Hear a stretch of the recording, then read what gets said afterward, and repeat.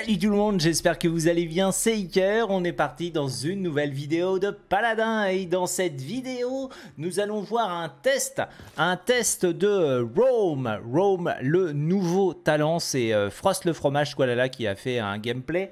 Euh, alors c'est le. Vous vous rappelez, ceux qui ont regardé mes vidéos patch notes, je vous ai dit, oh là là, euh, même en direct quand j'ai fait, mais c'est n'importe quoi ce, nouveau, truc. Et eh ben on va regarder un petit peu quels peuvent être les heals. Alors on n'est pas du tout sur une compo euh, lame, euh, la, compo que j'avais imaginée avec ce Rome, qui serait une compo à base de Mako à demi-coquille.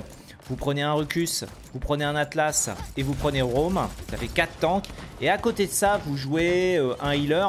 Un healer qui peut plutôt DPS, donc par exemple Grok Maestrom euh, ça peut être également euh, la possibilité de jouer Ceris par exemple. Euh, pour avoir encore plus de heal early et d'avoir quand même des combos d'ulti à la fin qui peuvent très très bien marcher comme l'Exafire, l'ulti Ceris, l'ulti Rome, l'ulti Rucus, le Makoa quand même qui reste présent pour avoir son ulti Game Breaker, etc. etc. Vous pouvez jouer Makoa demi-coquille, vous pouvez jouer Maoka Pluck. Enfin bref, on va parler du Rome Debilus le Rome complètement con, créé par IRES, tous vos alliés regagnent 2% de leur PV max par âme absorbée. Donc euh, la version mathématique, c'est que c'est pas un heal extraordinaire. Il faut, faut un autre healer. Mais c'est juste qu'en début de partie, si Rome peut se permettre de taper en boucle sur quelqu'un et donc ramasser les âmes absorbées, on rappelle qu'il y a quand même quelques si. Il y a un si, il faut que l'ennemi soit assez proche pour que vous puissiez les ramasser instantanément quand vous tirez. Si vous êtes en sniper roam, malheureusement, vous ne pourrez pas. Donc, ce que vous allez faire, c'est souvent taper l'off tank ou le tank point ou le flanker pour pouvoir essayer de faire tomber des âmes absorbées pour pouvoir les récupérer. Notez que des âmes absorbées avec roam tombent si vous tirez dedans, si vous balancez un ulti et si vous euh, marchez dessus avec votre dash. Il y a trois façons de faire tomber des âmes absorbées. Quand vous allez les récupérer, vous allez vous soigner avec Chrome, mais vous allez soigner aussi 2% des PV max de la cible. 2% des PV max, vous allez me dire, mais Iker, euh, si j'ai 100 PV, euh, bah, je me heal de, euh, de 2 PV. C'est du à chier. Oui, mais si t'en as 1000, 20. Si t'en as 2000, 40. Si t'en as 3000, 60. Si t'en as 4000, 80. Si t'en as 5000, 100 PV. 100 PV par âme absorbée. Et des âmes absorbées, vous savez, ça tombe vraiment beaucoup. Hein. C'est pas une, une âme absorbée par seconde, c'est bien plus si vous tirez et que vous les ramassez instantanément. Vous voyez où je veux en venir. Les compos avec plein de tanks sont forcément beaucoup plus forts que les compos avec, euh, si vous jouez 3 euh, Eevee, 1 Roam, 1 Healer, bon, euh, Eevee à 1800 et heal bah, de 20, 25, 26, 26 HP, 28 HP, voilà, je suis en match, je crois que c'est 28 HP c'est nul. 28 HP, même par âme absorbée, c'est pas folichon. Vous prenez, plus vous prenez des tanks, plus euh, le talent va fonctionner parce que eux ils vont ils ont des PV max plus élevés. Donc Makoa n'oublions pas Makoa qui ulti quasiment 10 000 HP un, un Rucus avec euh, émetteur ça doit fonctionner. Je sais pas si ça fonctionne avec émetteur je pense pas. Vous prenez des vous n'êtes pas obligé de prendre des PV vous avez plus de 4500 HP avec un Rucus. Vous allez à chercher un Atlas vous allez prendre des PV etc donc vous allez dégueuler de PV donc déjà vous êtes difficile à buter parce que bah, vous avez beaucoup de PV donc le, le burst ne fonctionne pas sur vous. Et de deux vous allez vous faire soigner donc par le healer plus par Rome, et c'est ça qui va rendre le truc un peu très très fort. N'oublions pas que Rome est un personnage qui peut être relou contre les shields, puisque si vous appuyez sur ulti, sur l'ulti barrique, euh, je sais pas moi, euh, le shield de Nando, euh, le shield de Khan, le shield que vous voulez, ça les détruit instantanément les shields. Donc c'est assez fort, ça fait 900 de dégâts et ça stun. Donc on, voilà. Et donc le but de ce gameplay, bah, c'est si vous, essayez le gameplay 4 tanks un healer, donc euh, par exemple on a dit donc Rome, Rucus, euh, Makoa, euh, Ceris et Atlas. pourquoi? Parce que Atlas force résilience, Rome va forcer résilience, vous avez quand même un petit peu de shield mais pas trop, c'est-à-dire vous avez quand même le wall d'Atlas qui n'est pas un shield, vous avez tout de même la demi-coquille de... Enfin, vous avez la demi-coquille de Makoa, donc vous allez avoir euh, des trucs intéressants. Donc, euh, et puis, euh, vu que vous n'aurez pas pris Barrick ni Fernando, il y a de grandes chances qu'ils soient en face. Et donc vous allez les contrer énormément avec l'ulti Rome, etc. Bien évidemment, Atlas peut commencer broyeur, etc. etc. Voilà. Et, et, ça sera plus efficient qu'avec une compo comme ça. Bon là bien évidemment c'est un test, donc on va regarder un petit peu. au niveau du deck, au niveau du deck il y a plusieurs choses qui sont intéressantes. Pour moi, avec ce, ce style de là de Rome, euh, on peut prendre l'ADR sur le Q, mais on peut aussi prendre l'ADR sur le clic droit. Puisque là, euh, va décider de prendre Chronos. Ce qui fait que ça va diminuer la, la, récupération du clic droit qui va descendre à peu près à 7-8 secondes. Et si vous prenez l'ADR sur le clic droit, bah, vous l'aurez quasiment très souvent. Puisque l'ADR, elle dure 3 secondes, je crois, euh, sur le clic droit, ou 2 secondes, je sais plus. Et voilà. Ensuite, vous prenez le temps de recharge de Mastodon diminue de 5% à l'activation d'absorption d'âme. Bon, ça, ça dépend s'il y a moyen de cancel ou pas votre dash dans cette partie. Dans cette partie, on notera qu'il y a quand même pas mal de choses qui permettent de cancel le dash de Rome, qui sont euh, le Fear de mal d'en bas, le Stun de mal d'en bas, le KB, euh, l'ulti de Cannes, le, dash, la prise du commandant de Cannes, et enfin l'ulti Vatou. Donc, euh, donc voilà, voilà. Et enfin, vous avez une carte qui est un peu lame. Vous savez que bah, euh, moi, je vous incite pas à jouer ce genre de compo parce que moi, je les jouerai pas. Je les trouve complètement déloyales de jouer une compo avec 4 tanks et un healer avec ce ROM là. Mais c'est juste que je suis bien, j'aime beaucoup la théorie, le, craft. Donc si vous aimez bien, euh, si vous voulez tenter cette compo, ça peut être intéressant de prendre cette carte là à 5 points. Puisque vous allez vous remonter encore plus vos PV par rapport à Fragment d'âme. Donc voilà, Donc cette carte-là, elle peut être mise à plus de points. Euh, bien sûr, si vous prenez plus de PV, ça équivaut à plus de heal pour vous. Alors plus de heal pour vous, je suis pas sûr. Je crois que le heal pour, euh, pour Rome, c'est tout le temps le même. C'est le heal pour les autres qui sera dépendant des PV. Voilà, voilà. Donc on est parti. Euh, l'objectif, le fil conducteur, ça va être de regarder comment en niveau soins ça évolue par rapport aux autres personnages du jeu. C'est-à-dire les healers, hein, les personnages qui sont conçus pour ça.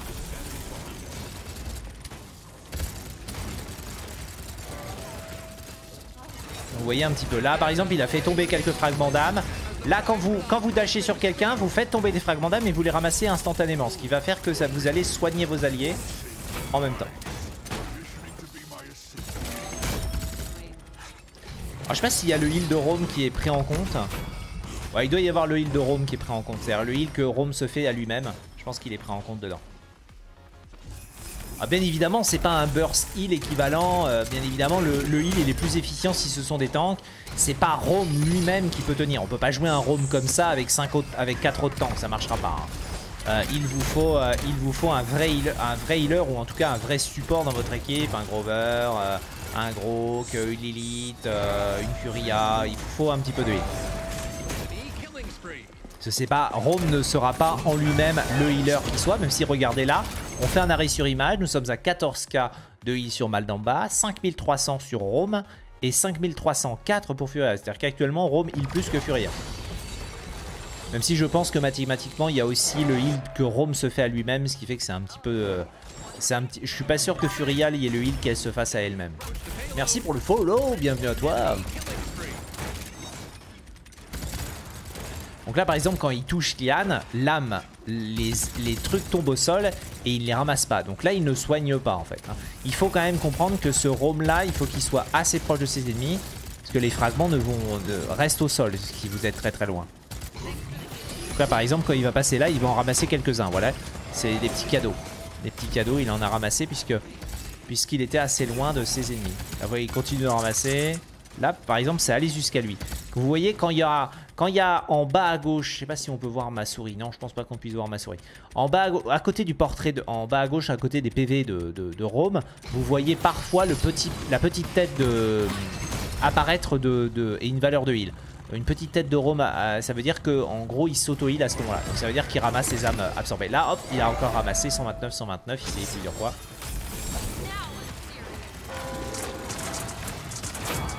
Très très bon ulti euh, Androxus là On peut aller sur la liane. La liane claque l'ulti. Elle a réussi à que la Furia. Et la liane est morte. Bien joué. Donc l'objectif euh, de ce roam là, c'est vraiment de, de, balancer des ultis sur la front lane et de taper ce qu'il peut en fait, pas, pas ce qu'il doit. Ça sera les autres de l'équipe, hein. ça sera l'Atlas, le Rucus, euh, le Makwa, d'aller chercher les personnages importants. Je pense que Rome il joue en protecteur du healer ou un truc comme ça, un petit peu en tampon derrière. Voilà, voilà.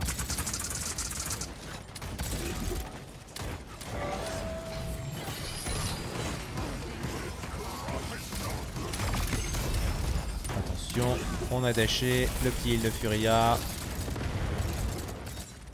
Le can qui est là. Le Rome qui est dans le bac. boum, boum, boum. Ainsi marcher sur les adversaires. Le mal d'Amba est l'eau. Là, moi je, moi, je balancerai l'ulti à la gueule du barrique. Hein. Littéralement, euh, j'en aurais rien à foutre. Parce que je pense que l'ulti, tu peux le monter assez vite. Hein. Euh, je, euh, je sais pas si ça marche. Ça serait intéressant de regarder. Mais il faut le savoir que par exemple, Grok monte son ulti beaucoup plus rapidement. Parce qu'il DPS avec ses Maelstrom qui rebondissent. Et il heal avec ses totems. Est-ce que Rome, ils ont fait ça? Est-ce que Rome monte son ulti plus vite? Parce qu'il va soigner ses alliés. On rappelle que c'est peu importe où vos alliés sont sur la map. Hein. Ils peuvent être à 30 km, ils peuvent être à l'autre bout de la map, vous les soignez quand même. c'est pour ça que c'est pour ça que c'est pas un heal non plus d'un milliard, hein, parce que sinon ça serait, ça serait quand même assez dingue. Mais j'ai envie de voir euh, à quelle vitesse tu, montes ton ulti.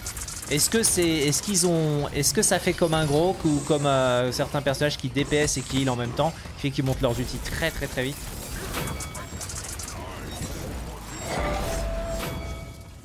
Bon, le qui dash sur un roam, euh, c'est l'un des pires focus, hein, euh, roam pour un Batou, parce que ça met, il met beaucoup trop de temps à le buter. Hop, on passe deux fois sur l'ennemi, très bien joué. Et il meurt, voilà. Donc là, euh, ça va être intéressant de voir. 29k. Au niveau du DPS, je pense que c'est pas non plus fou dingue parce qu'il tape beaucoup de shield. Il a 22k. Donc pour le moment, voilà, euh, premier essai. Euh, c'est quand même satisfaisant, hein. quasiment 30k heal pour 40 000 pour, pour la Furia, qui font qu'à tous les deux, ils sont... Enfin, vous voyez, vous connaissez bien la chanson, vous avez, vous avez déjà vu sur la chaîne du double heal, et en général, le double heal, bah, ça heal plus que le mec tout seul. Bah là, on est sur un 70 000 contre 55 000 pour le mec tout seul. Euh, mais ouais, j'ai envie de voir si l'ulti monte beaucoup plus vite. si l'ulti monte beaucoup plus vite, c'est quand même sacrément pété. Parce que l'ulti Rome est pas dégueulasse. De base, c'est quand même 900 de dégâts, ça stun et ça pète les shields. Donc euh, ça pète les déployables. Et euh, ça pète les déployables. Donc c'est quand même assez fort. Je sais pas si ça one shot Imani quand elle est en forme de dragon. Je parle de Imani le, le personnage, pas le dragon. Alors on arrête qu'il appuie sur ulti.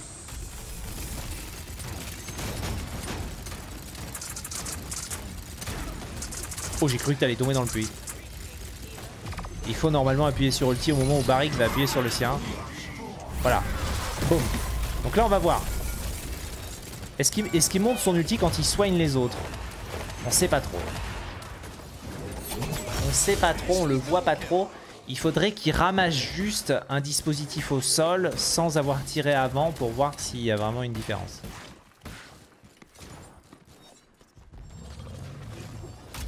12%, ok. Là, il ramasse pas les trucs. Là, il peut pas les ramasser. La liane est trop loin.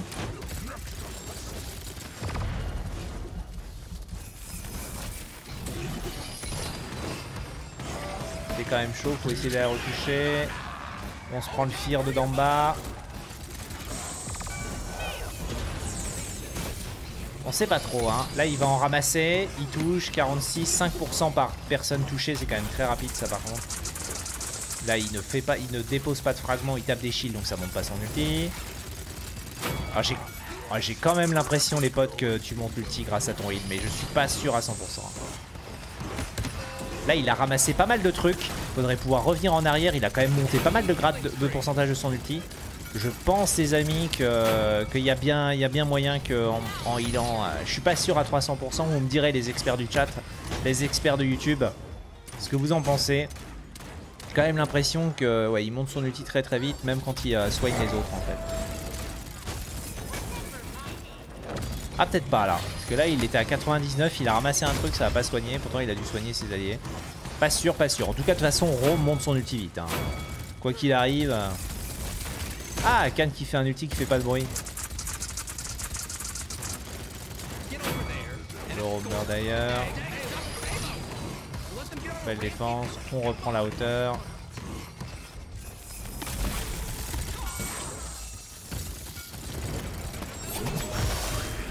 Il cut son ulti. Le problème c'est qu'il ulti de temps quoi donc bon. Hein. Là t'aurais pu ulti Oh là là t'aurais pu ulti là faut balancer, l'ulti c'est 900 de damage, hein, ça permet de faire le kikou à la fin, on a fait un milliard de dégâts. Hein. Là je pense qu'il a eu peur que, que le, que le can ulti mais c'était pas possible, il avait ulti avant mais ça avait pas fait de bruit.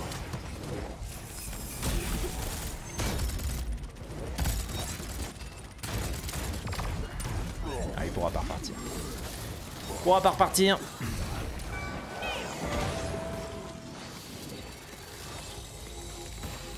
On est à 40 000 de dégâts euh, du côté de Rob. Il arrive à peu près à avoir les dégâts du can.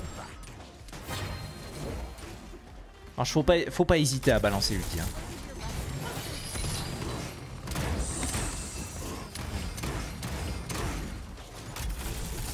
Le can est mal barré, le can meurt.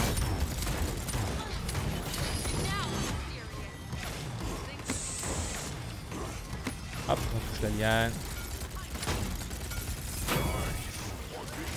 Là, je pense, je pense vraiment que là, déjà dans la game, t'aurais pu ulti 4 euh, fois. Quasiment sans exagérer, t'aurais pu ulti 4 fois parce que t'as économisé l'outil dans la première manche. Tu l'as pas utilisé, tu l'as utilisé que dans la deuxième. Et là, t'es en train de faire pareil, t'as utilisé un ulti depuis le début. Alors que t'aurais pu déjà en utiliser 3 et tu seras en train de charger le quatrième. Je pense quelque chose comme ça. Voire peut-être encore pire. Hein.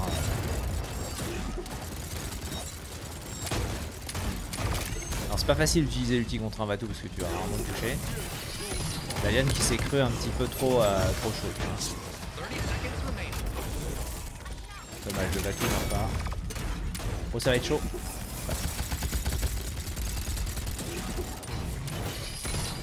Oh, c'est chaud ça. Pas forcément, ouais, mais plus vous touchez des personnes avec votre ulti, plus vous faites tomber des fragments, donc plus vous remontez votre barre violette. C'est euh, pas avec votre ulti, avec votre dash. Avec votre ulti aussi d'ailleurs. Hein. Votre ulti fait tomber des fragments au sol. Donc si vous êtes assez proche des ennemis que vous stonnez, vous allez augmenter d'un seul. Là par exemple ulti. Ça aurait pu être euh, intéressant.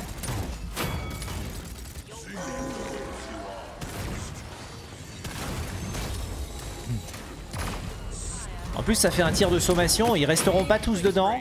Là, t'as forcé quand même le focus sur toi, donc c'était très très bien joué.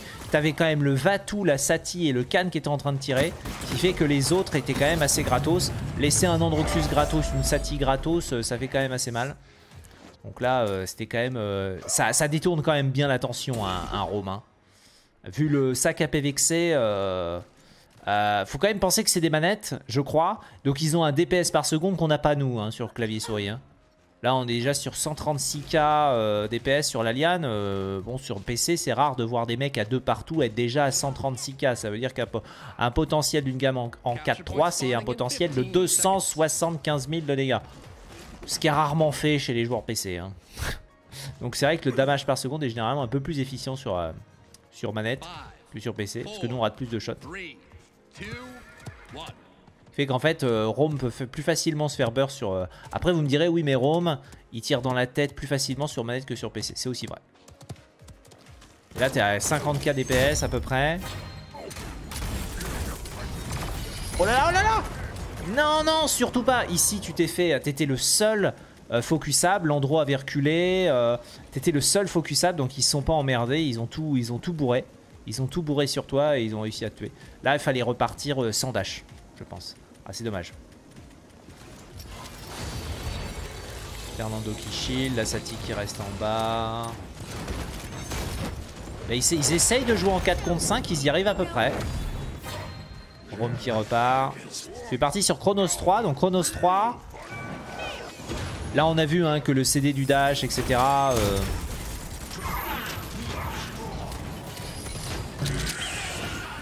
le fir est raté. La part du mal en bas. Toujours pas d'ulti claqué, hein. On l'attend. On l'attend Bon, vous avez réussi à push, il y a 3-1. Très très peu d'ulti claqué, c'est dommage. Parce que ça fait mal. Qu'est-ce que ça fait mal cette ulti J'espère qu'on en verra un deuxième. Vous vous rendez compte qu'il y a pas mal de gens qui jouent Rome euh, ulti qui se charge plus vite. Donc euh, même si c'est pas le meilleur talent, hein, euh, là tu pourras pas, il va dasher. Ouais, il va dasher à travers. C'est logique, hein, euh, plutôt que se faire passer dessus, dasher, euh, sur le roam, même si ça vous met en difficulté derrière.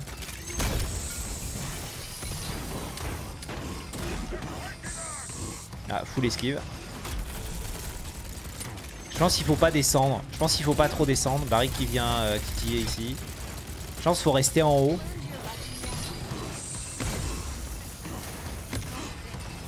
Oh, c'est greedy de finir le truc ici.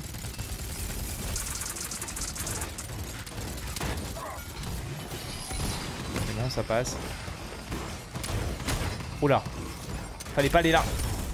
Aïe Aïe ah, fallait pas finir la course ici parce que le problème c'est, euh, vous me direz, vous me direz Iker là il fait n'importe quoi ce là là, il va trop deep.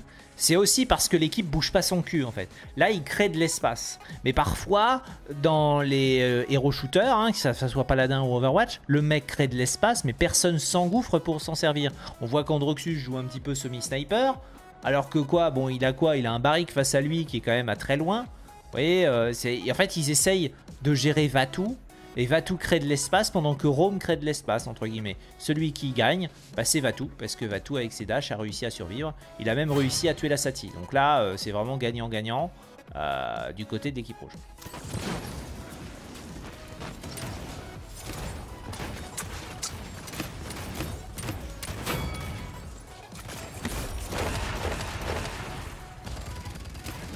Se remet sur Rome, les potes.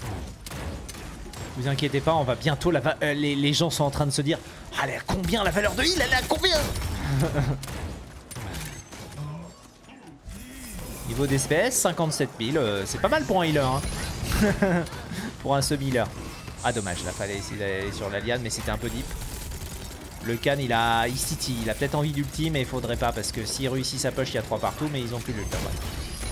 Fernando, faut qu'il arrive à remonter. Oh là, ça va passer. Boom Strike sur la liane Ah, Landro qui claque son ulti. Ça servait à rien, la liane était déjà morte. Mais il a conservé une partie de son ulti. Boum, boum, boum.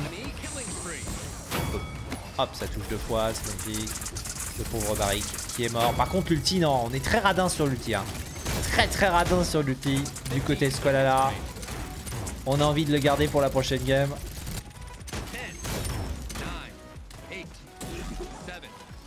Alors on rappelle, faut Havre. Hein. Havre. Parce que la DR de Rome, il, est loin de l'avoir tout le temps. Hein. Alors, euh, c'est vrai que mathématiquement, les gens me disent, mais Havre, ça coûte 1050 Havre 3 Oui, mais Havre 3, maintenant, permet de passer de la DR de 6%. Euh, Alors, pour rappel, hein, voilà. On, on passe de 6 à 18% de Havre. Donc en gros, Havre 3 vous permet d'avoir 12% de DR en plus. C'est pour ça que dans la vidéo... Non, pas, euh, pas 12%. D'où... Euh, putain, il a pas un Havre 2 là dans, la, game? Si, il y a un Havre 2. 6% euh, pardon, supplémentaire. 6% supplémentaire pour, 1500, pour 1050. C'est un peu cher, mais c'est quand même une DR assez efficiente. 18%, hein. c'est-à-dire que quand tu es censé subir 1000, tu subis que 820. Donc c'est quand même une grosse perte de DPS. Euh, des adversaires. Donc euh, ça reste quand même à rush, hein, Havre 3. Même si je sais, c'est cher, à la fin les gens me font mais Iker c'est trop cher, Havre 3 j'ai pas envie. Euh, oui mais les gars, c'est fort. Donc n'hésitez pas à le prendre. Havre 3 est plus intéressant que Vétéran 2. Parce que Vétéran 2 c'est 11% de PV en plus. Alors que Havre c'est des PV qu'on ne soigne pas. Donc vous voyez c'est pas une augmentation de 6% déjà. Et c'est vrai que c'est moins cher. Donc euh, je pense que mathématiquement, euh, c'est toujours quand même intéressant de le faire. Euh, si vous êtes un personnage qui avait... Bah, on s'était rendu compte d'ailleurs dans, le, dans le graphique de Draco que plus on prenait Havre, plus il devenait rentable en fait. Même si c'est cher, en fait il est rentable mathématiquement. Allez, on est parti. Frost le fromage. Et on va regarder le heal maintenant. Et regardez, il est à 80 000 de heal. Ah, il s'est pris un bon stun. Là, Damba euh, commence à, vraiment essayer d'empêcher de jouer. Ne inquiétez pas, on va avoir un ulti un jour. Ah bah non.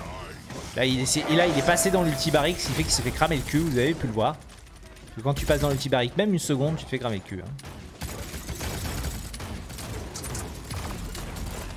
On espère un deuxième ulti. Pas facile là, ils sont collés à un mur, donc pas facile.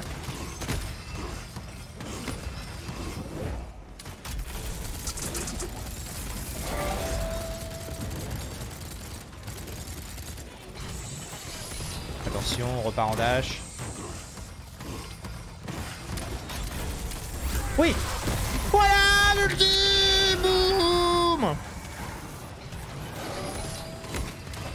On rappelle que ça permet de soigner en plus parce que ça permet de faire tomber des âmes absorbantes. Oh, mais...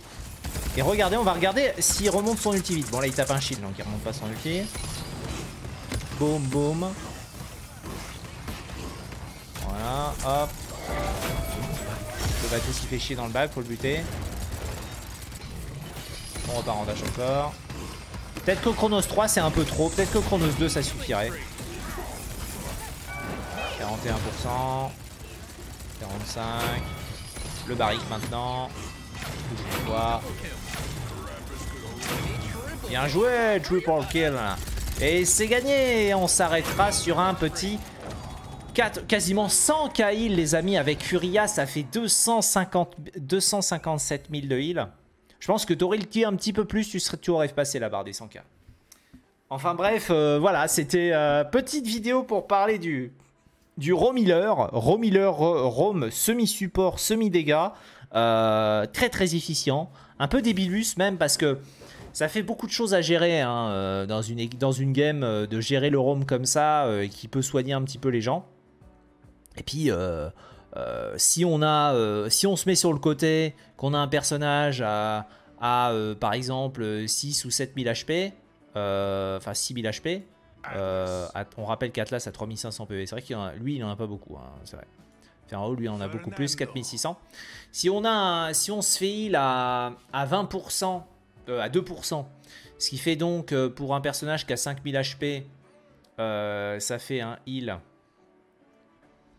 à 100. À 100 HP par, par âme. C'est pas par seconde, hein, c'est par âme fragmentée qui récupère. Si tu le mets sur le côté, tu reçois quand même un heal qui est pas dégueu. Hein. Euh, c'était hors cotérisé en late game. Donc euh, bah, c'est un heal d'appoint pour les tanks, n'importe où il se trouve sur la map. Là c'était bien évidemment pas une 4 tank, un healer, que j'aimerais bien tester en, casu juste pour le fun. Peut-être qu'on le fera. Euh, voilà, voilà. donc moi j'ai dit ma compo que j'aimerais bien. c'est alors après il y a plein de compos qui peuvent marcher. Hein. Je pense que Yago peut marcher. donc moi je pense Rucus. Un bon Rucus, un bon Rucus euh, va pouvoir en profiter. Un bon euh, Atlas, un bon Makoa, un bon Rome. Et, euh, et, à côté de ça, vous mettez une série, je pense. Ça, vous avez l'early game dégueulasse et vous essayez de focus un peu les mêmes cibles parce qu'il va vous manquer un peu de burst. Avec Atlas et Rucus, vous en aurez quand même tout de même un petit peu du burst. Et surtout, vous aurez beaucoup de heal avec la série plus le Rome. Vous êtes obligé en face de prendre euh, si vous avez Makoa Rucus, ils sont obligés de prendre euh, Broyeur pour péter le shield de Rucus, sinon Rucus il se fait trop plaisir. Pareil pour la demi-coquille de Makoa. Et derrière, il vous faut Résilience parce qu'il y a un Atlas et un Rome Stun, une série aussi. Euh, et vous avez, vous avez besoin, bien sûr, ensuite derrière d'un vrai vétéran. Donc votre avantage à vous, c'est que vous, vous pouvez quasiment le rusher. Des bisous, j'espère que cette vidéo vous aura plu. Je ne vous incite pas vraiment à jouer ce genre de compos, euh, qui à mon avis sont des compos qui devraient même pas exister euh, dans le jeu, parce que c'est très très chiant de jouer contre ça. T'as vraiment l'impression de gagner, de, gagner sans vraiment être meilleur en fait. T'as juste, juste créé une compo qui est trop forte, qui fait que les mecs peuvent pas la gérer. Donc, euh, donc je trouve que ce changement sur le talent était quand même un peu euh, dangereux.